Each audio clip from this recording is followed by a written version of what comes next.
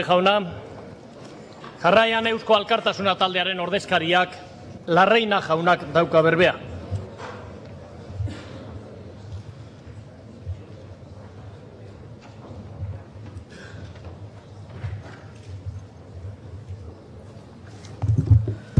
Eskerri asko, presidente jauna, egibiltzarkide jaun Andreok, arrastion guztioi.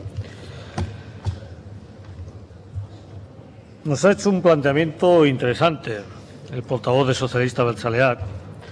Lo que pasa que con su planteamiento tenemos desde Eusko Alkartasuna las diferencias que siempre tenemos y las coincidencias que siempre tenemos.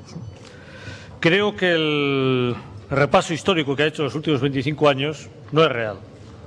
Ahí caen en el error de siempre, ¿no? Es decir, todos lo hemos hecho todo mal y ustedes lo han hecho todo bien. Y creo que eso no es la realidad.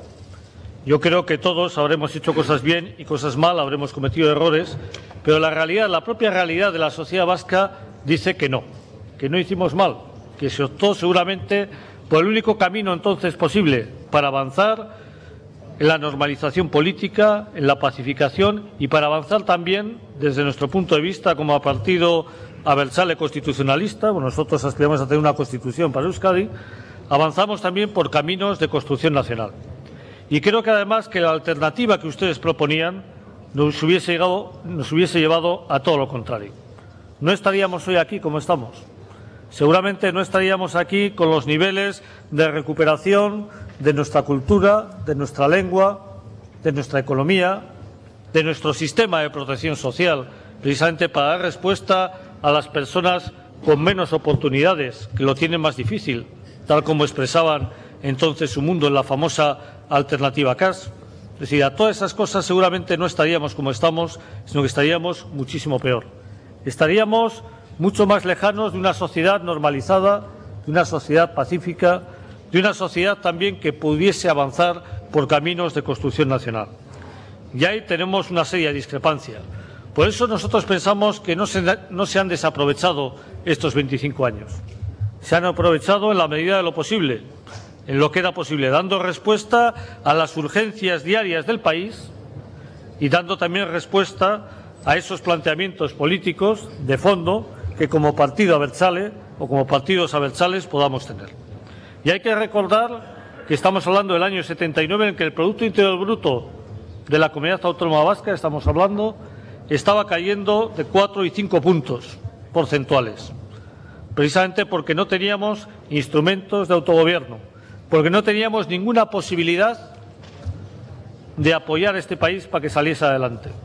Y precisamente con la puesta en marcha de las instituciones vascas en la comunidad autónoma, con la recuperación del concierto económico para los tres territorios, en este caso para dos de los tres, de la comunidad autónoma vasca, pero con un planteamiento común. Precisamente con la puesta en marcha de estas instituciones y de esta institución en la que estamos, se pudo dar respuesta a todas aquellas urgencias. Decía, urgencias culturales, urgencias sociales, urgencias económicas, urgencias laborales. Y creo que eso no hay que olvidarlo y no hay que perder la perspectiva histórica. Y precisamente yo creo que la historia, además, demuestra que esto es cierto, porque hay que recordar que si analizamos toda la gente que en ese momento estaba en las posiciones que usted dice que eran las acertadas, vemos que muchas de ellas a lo largo de estos 25 años cambiaron de posición. Muchas. Si analizamos también lo que han venido diciendo desde los adversarios políticos o desde quienes ven un peligro eh, ven en peligro su concepto eh, unitario del Estado español, de España, etcétera, ¿no? y que por lo tanto son opuestos a procesos de construcción nacional libres, democráticos, pacíficos, si analizamos también lo que dicen, vemos que también no les han dado la razón. Incluso podríamos decir que su apuesta política de Anoeta, y nosotros hemos valorado positivamente, también viene a confirmar que teníamos razón. Pero seguramente no teníamos nosotros toda la razón, ni ustedes tampoco estaban todos equivocados, pero la sociedad vasca ha avanzado en esta línea, absolutamente mayoritaria. Por eso yo creo que más que mirar al pasado y más de centrarnos en ver quién se equivocó hace 25 años, creo que es oportuno mirar al futuro, abordar la nueva situación, a dónde queremos llevar a este país, qué queremos hacer de este país, de esta sociedad.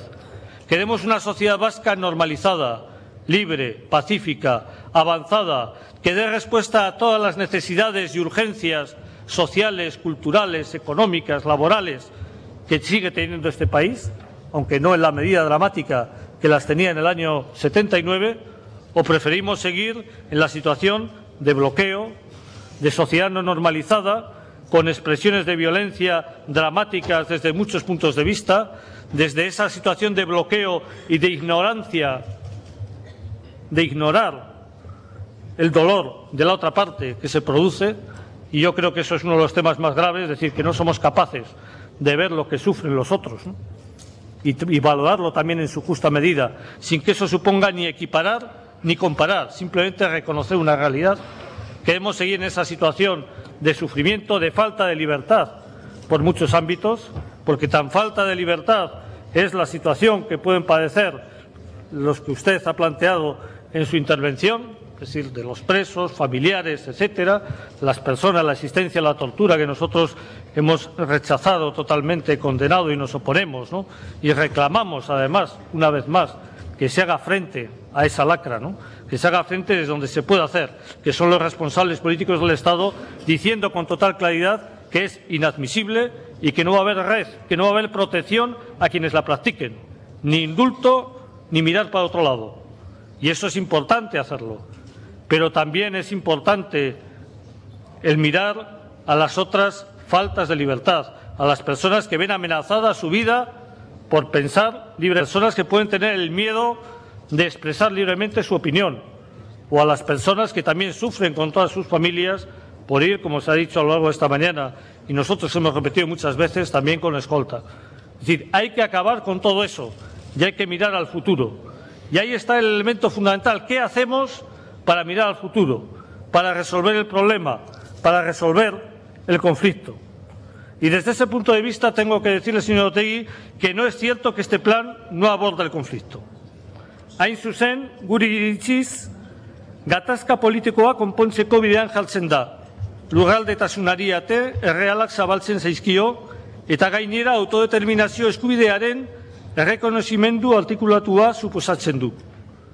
Behin eta berriz esan duzue gatazka politikoaren muina errin honen hitzaren ukazioa dela. Ados gaude puntu horretan. Hain zuzen, plan honen bidez, Araba, Bizkaia eta Gipuzkoako hiritarrek erabaki bat hartzeko aukera izango dute. Bere burua erabaki sujetu bihurtu eta ondorioz, erabaki sujetu horrek lehen da biziko aldiz erabakitzen du bere buruari eman nahi dion marko juridiko politikoa. Lehenengo artikuluan dago, lehenengoan, erabaki sujetu definitu eta ariketa egin. Horrek ez du esan nahi etorkizunean Euskal Herriko beste estatiek ez dutenik aukera izango.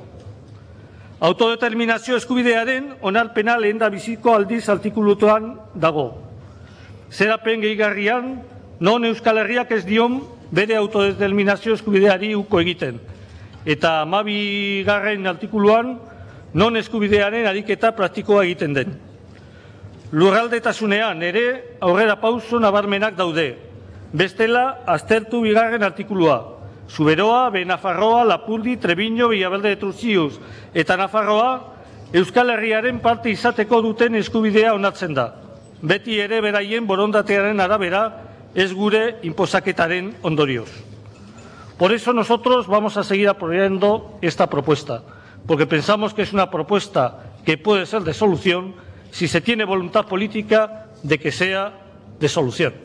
Y ahí ustedes también tienen mucho que decir. Usted planteaba si aceptábamos el principio de que hay que respetar la voluntad de la sociedad vasca, si aceptamos que hay unas reglas de juego comunes. Mire usted, eso lo estamos diciendo desde Euskal Cartasuna desde hace muchos años.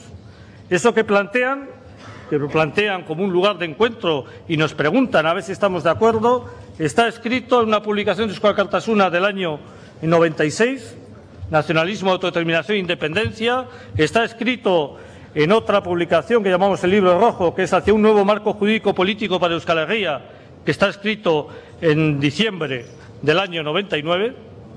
Todo eso lo tenemos y le hemos dicho que sí, pero le hemos dicho que sí sobre una base sólida, sobre una base cierta. Y esto me recuerda otro debate que ya tuvimos aquí también y otro intercambio que tuvimos usted y yo desde esta misma tribuna. y se lo vuelvo a repetir, sobre la base firme, segura, del compromiso activo en la defensa de todos los derechos humanos sin excepción, desde la base firme, segura, del compromiso activo con el rechazo de cualquier expresión de violencia, sea de un tipo o de otra, en general y en concreto, sobre esa base podemos edificar todos los acuerdos que sean necesarios, todos los acuerdos precisos para lograr la normalización política y la pacificación de este país. Desde luego, por nosotros, por Isco Cartasuna, no va a ser. Estamos trabajando en esa línea precisamente, de buscar esa base sólida de compromiso activo con la defensa de todos los derechos humanos sin excepción y de rechazo y de decir claramente a la sociedad en una función didáctica que tenemos que tener todas las fuerzas políticas, de decir que eso es inadmisible en democracia, que eso es inadmisible desde el punto de vista ético, que ya sería más que suficiente, pero también desde el punto de vista político. Porque la violencia nunca, nunca permite avanzar, nunca permite normalizar una sociedad, nunca permite la paz ni la libertad. Señor Larreina debe concluir. Oraintxe bertan, presidente Jauna. Por esas razones, nosotros vamos a votar en favor de esta propuesta al Gobierno, que estamos de acuerdo con ello como base mínima para avanzar y, desde luego, vamos a seguir en ese proceso de buscar la normalización política de la sociedad vasca, de buscar la pacificación, de conseguir que de una vez por todas en este país todos sus ciudadanos y sus ciudadanas puedan vivir en libertad, puedan vivir en paz y puedan realizarse